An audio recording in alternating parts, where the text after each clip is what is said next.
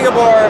We brought an F1 actual helmet. We gotta see of it. These things are legit. It's not like a NASCAR helmet or like a bike helmet, because these guys are driving hundreds of miles an hour. Their heads are sticking out of the actual car. It's super dangerous. If you watch some of the wreck videos on YouTube, they will have a car that will go over the top of them. So this thing's extremely light, but it's aerodynamic, it's carbon fiber, and it's made just for these racers to keep them safe. We're going to watch the race for a few hours tonight. It's actually one of the practice rounds, and then we're gonna come back every single night until Sunday with the actual competition. So we're gonna give you some shots of the practice rounds here. We won't show the actual race. You've never seen F1 racing in person like I haven't before an hour ago. I highly recommend it.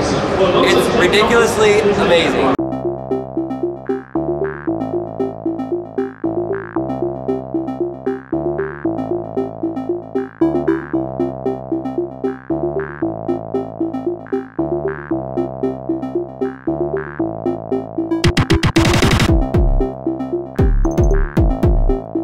Just about done for the night. It's been a blast. Um, time to head back, get Lincoln to bed. They didn't have a boat for another hour, so they just grabbed this guy. Hi. Hello. Bye, everybody. Thanks for your hospitality.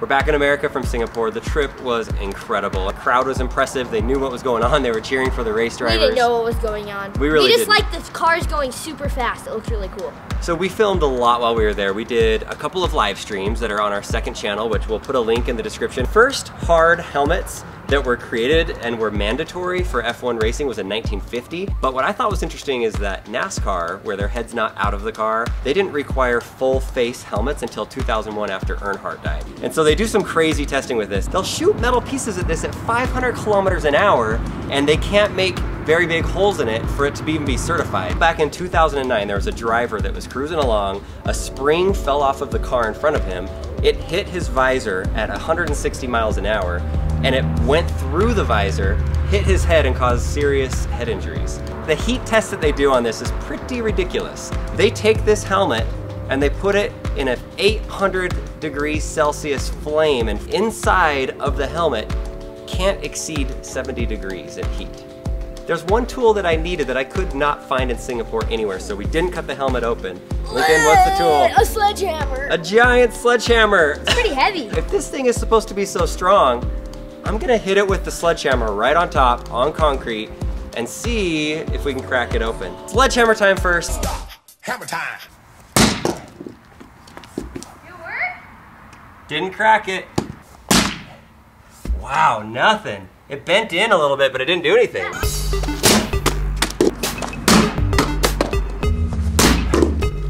Man, that thing is tough. The ultimate sledgehammer hit. Ah! Ah! The plastic thing's coming off the top. I dented it. Ouch. That would hurt if that was a driver. Well, what the heck, Lincoln? I'm doing another one. Ah. Scratch the bottom, crack that part. This is too much fun.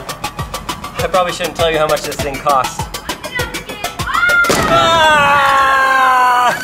Look at that craziness. Sledgehammer right into a helmet. Look how it just collapsed Whoa. down. Oh my gosh, feel it. Reach in there. What?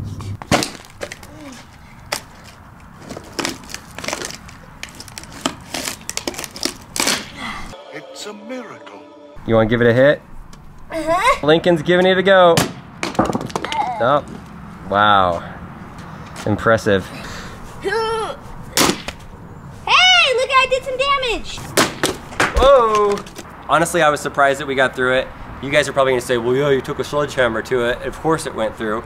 But still, these things are meant to be super tough. This thing pumps in 10 liters of oxygen during the race, and it filters out brake dust and oil and everything so that those guys can breathe fresh air. Even when you're at the racetrack, you often like smell the brake powder You'll get rubber in your hair. I would like to break it down a little bit more so we can just open it up and see what's inside. Yeah, just hit it a couple more times. I don't think you need saw. Hopefully, this is a no saw video. Cut to a music, beautiful montage of me destroying this.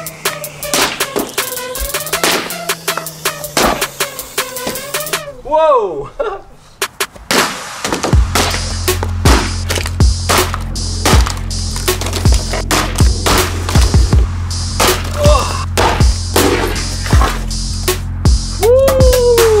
Oh man, that was crazy. We beat it up pretty good. Sledgehammer work is not easy. Well, it's easy for people that have muscles and don't sit around filming videos and editing all day and night. So uh, yeah, definitely 2017 resolution, workout.